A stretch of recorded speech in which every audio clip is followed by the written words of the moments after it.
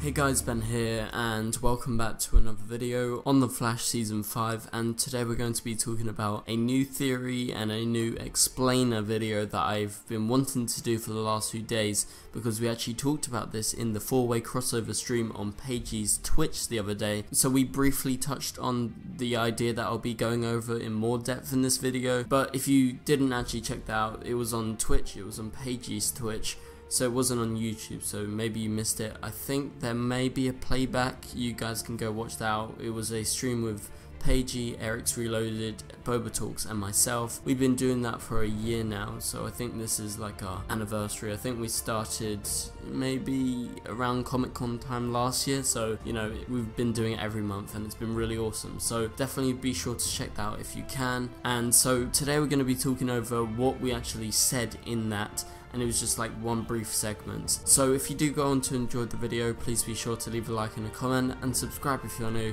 so you don't miss any DC TV videos later this year. So we're going to be talking about why Nora should be erased and she should be never born due to her coming back in time.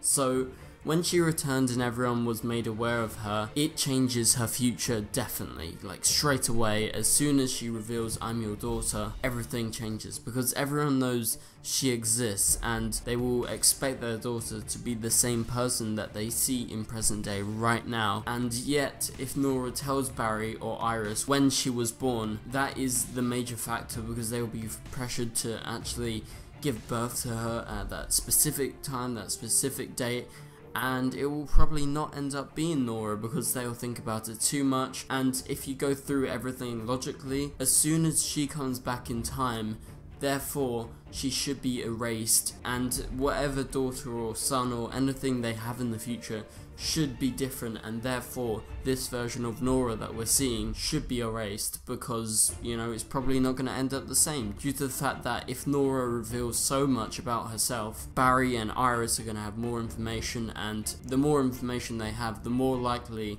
Nora isn't going to be this Nora. So therefore by the end of the season, I think it would be a really interesting twist if she ceases to exist and Barry will have to try his best to make her exist that exact same version and probably the only way, and maybe there's a little amount of other ways, would be that he and Iris and everyone must forget about her in present day due to the fact that with her being back in time it's totally problematic and she should definitely not exist in the future that same specific version. I'm not saying that a version of Nora couldn't exist in the future, I'm just saying this specific person that we're talking to in present day would not be the same due to Barry and Iris being so aware of all this stuff. So I think it's really down to if Nora tells Barry and Iris when she's actually born in the future, because if she says that, it puts pressure on them and it's probably not going to turn out the same way that it would have in the other future. So this was just a small explainer video. So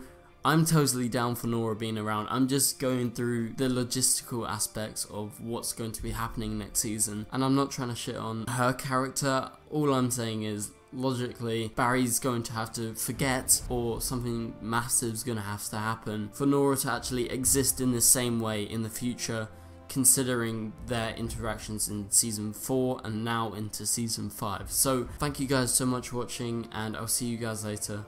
Goodbye.